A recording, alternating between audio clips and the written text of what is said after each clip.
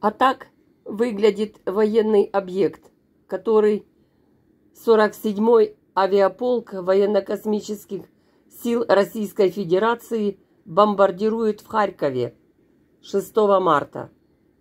16-этажный жилой дом, в котором люди, в котором маленькие дети, в котором женщины, старики. Как хочется, чтобы и вам такое досталось, россияне. Но украинские военные не воюют с гражданским населением. Они не бомбят жилые дома. Они не бомбят мирных жителей. Будьте вы прокляты.